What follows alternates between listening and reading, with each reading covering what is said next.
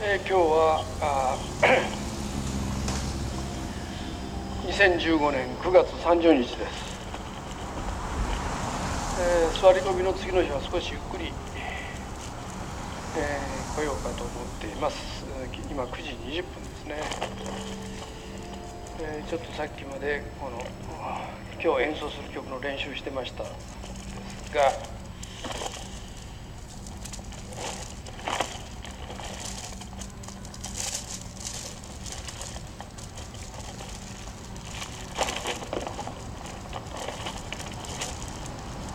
えー、朝日新聞の2面ですね、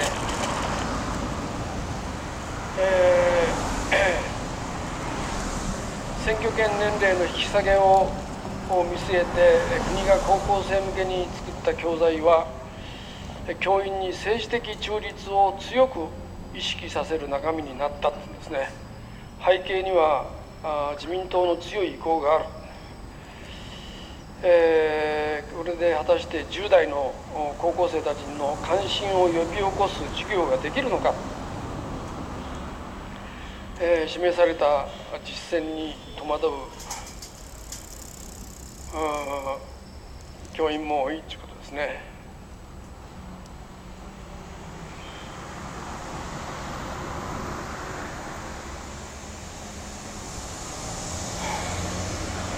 まああまあ私自身はね高校生っていうのはそれほどバカじゃないから 国の思うように、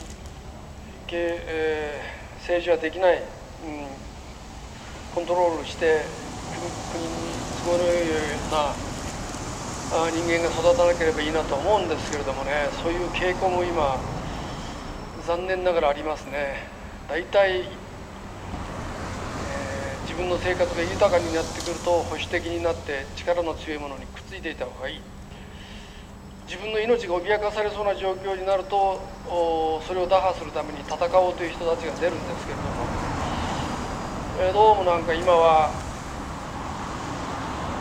そうではない人たちが多いような気がしてしょうがない、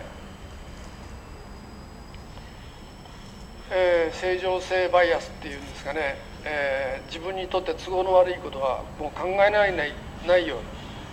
権力と戦うとかそういう真面目に考えたら心が辛くなってしまうようなことは考えないようにした方がいいのかな。まあ、昨日も根津さんがここに来てくれて話していたんですけども日の丸君が代の強制問題というのはまさにその正常性バイアスが働く国民に働いているものの一つじゃないのだろうか本来これを日の丸近代を罰則を持って強制するなんてことが本来民主主義の社会であっていいわけはないんですよね。それはみんな知ってるわけですよ。特に組合運動とか人権の問題とか考えてやってきた人たちはそれを十分知っているにもかかわらずですよ。もうそのことを考えて真面目に取り組もうとすると自分の心が苦しいから考えないようにしよう。でそれだけでなくて根津さんのようにごく少数最初言っていたことと同じことをずっと言っておかしいでしょうみんなでおかしいと言いましょうという人たちに対してそういう人の存在が鬱陶しくなって逆にそういう人たちを攻撃してしまう。まあ本当に、えーまあ、おかしな話というかこういうことが起きてるんですね。だからその正常性バイアスという言葉を理解した上で、えー、こういう現象を考えると非常に分かりやすいのかな。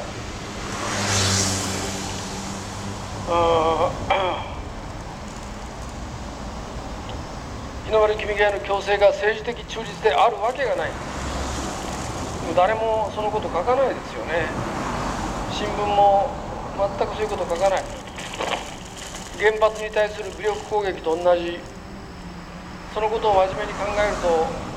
心が疲れ果ててしまうんで考えないことにしましょう。ということですね、え繰り返し言ってもしょうがないけど繰り返し言わなきゃしょうがない。まあ正常性バイアスが働いている人たちというのは言われても言われてもピンとこないんだろう。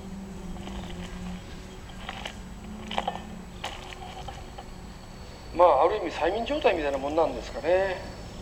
自分が催眠術にかかっていることすらわからない。分かりたくないからね。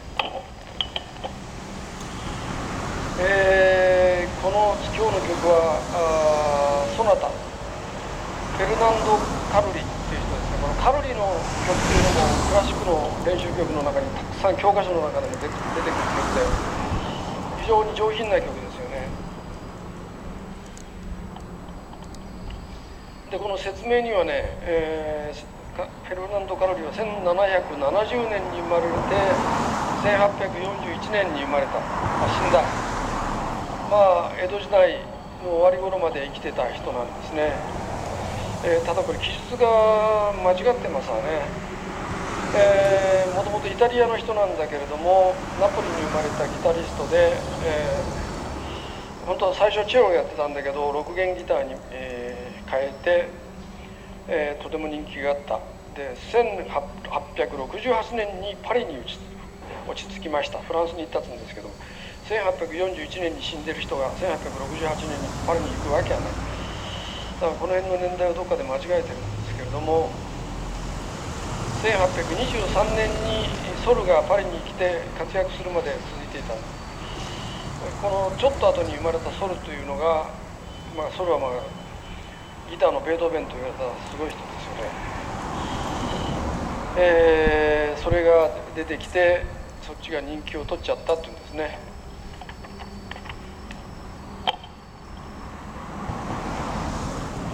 えこのカロリーの曲が2曲あってその後ソルの曲が延々と続き続きますけどね、まあ、ギターの生徒さんだったら感じてると言いますけれども非常に上品で格調高いんだけどソルの方がね演奏が難しいんだよね。でちょっとやっぱりソルの方が音楽的にも上なのかなっていう感じがちょっとします。それにしてもこのカロリーの曲は十分クラシック音楽クラシックギターの魅力を出している曲です。えー、この「そなた」もこれもまあ2ページにわたってある曲で1回しか弾かせてもらえないもったいない曲なんですけども、えー、譜面見ながらほぼ初見にしたい、えー、近い状態で弾く曲ではないですね。まあ例によってこんな感じかなでご容赦ください。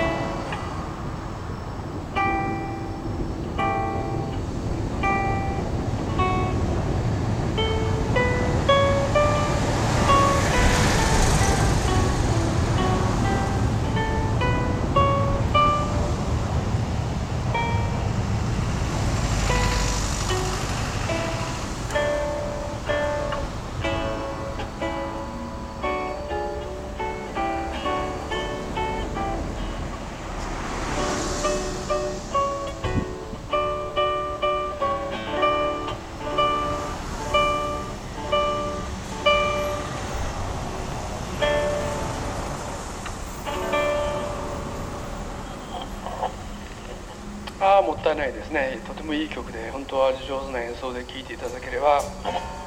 いいんですが今日これぐらいにしておきます。